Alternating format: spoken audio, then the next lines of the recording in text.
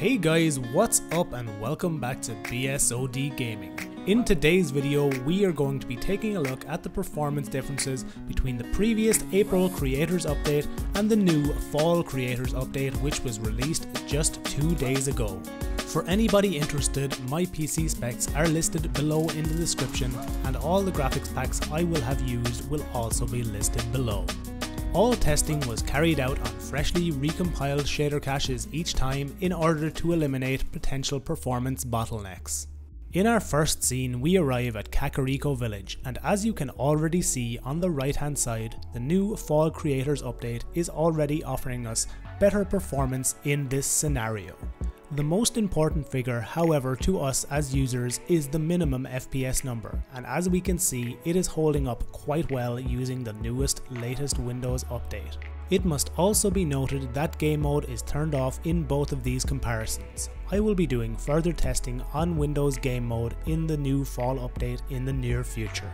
In the Kakariko test scenario, we have to give the win to the new fall update for performance let's transition on over to the Hateno ruins. This area in particular is synonymous with being one of the most grueling performance areas in the game.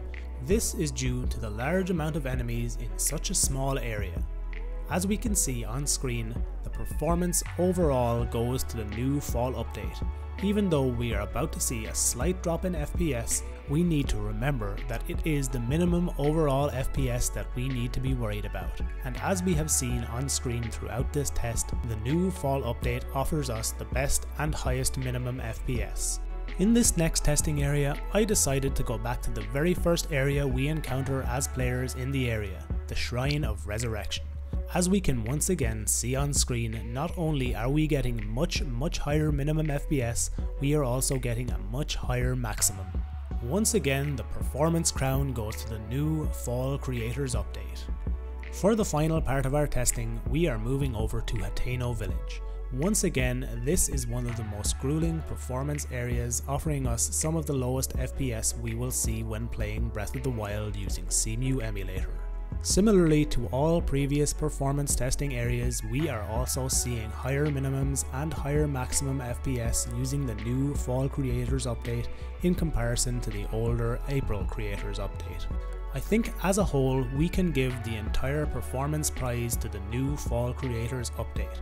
It offers us not only the highest minimum FPS numbers, but also much higher maximum FPS in game. As always guys, cheers for checking out the video, I hope you found it useful. I will be doing further performance testing using this fall update and testing indeed into game mode using my 2600K 8GB of RAM and GTX 680 2GB system in the coming days, so keep an eye out for that.